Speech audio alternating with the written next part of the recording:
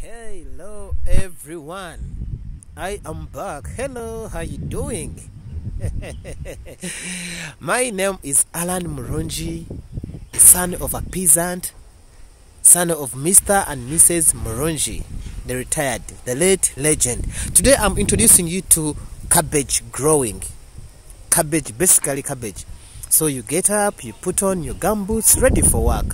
Yeah? Just like normal, you get up from the house, you put on your gumboots, and make sure you're ready enough for work, serious work. You pre- your home must be prepared. Then, like as life goes on, you pick up your hoe, ready for work. Let me give you a close up. Wonderful. You hold your hoe, then gently march for normal work. I love what I'm doing. First of all, you have to be with passion, but with cabbage, you have to be with land. Prepare your land like any other crop. Cabbage should be put on a seed bed and in straight lines. Lines. Then, after two weeks, your cabbage will be good for transplantation. For transplantation. As you're digging, please make sure you put them in lines, and they should be many. I'm sure. Then, after one one month, to do some weeding. You know, weeding makes a garden look smart and very beautiful. wow. Then, uh, when they get to that stage, of course, they will have started folding. You need to spray. Spray. If not, if you don't spray, they will be attacked by many insects, and they they will put those holes in your cabbage, and those insects can even make them get stunted. They don't move. You see, you're growing, your cabbages are not moving just because of the insects. But these insects are alive, by the way, just like that. These insects are many. If you have never seen them, those are the insects that attack cabbage. And they can be live, lively. You see, they are even walking. Can you imagine? These insects zijoga. zirajoga na. Now, the insects they are the ones that you can be spray, please spray them with rocket. Another problem cabbages face uh, these are the insects that look like caterpillar ziri nk'enyogombwa eh eshokombwa they can destroy cabbage. Now look at that but still locket is the solution.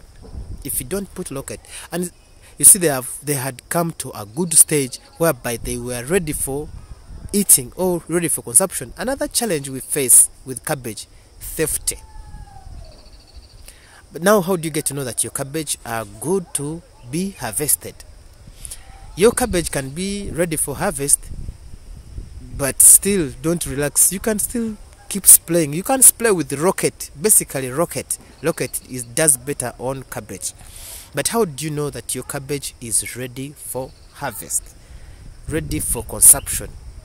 Let me show you how cabbage can be ready. Can you see this? You see the line? It can burst. So when it bursts get to know it is ready just do a simple slapping. Can slap on it or place on it. If you feel it is not moving if it is hard then harvest. But still if you have your good hoe keep on removing weeds. These weeds are good. They act as manure. Don't throw them away. They are good manure. You see when they dry up they will decompose and they decay in, hence making manure yes manure is of different types. The manure we use in cabbage you can use uh, animal wastes uh, natural manure you know. If not this grass that has decomposed use animal wastes the likes of uh, cow dung but make sure it is dry enough. Cow dung uh, goat's poo and uh, chicken poo.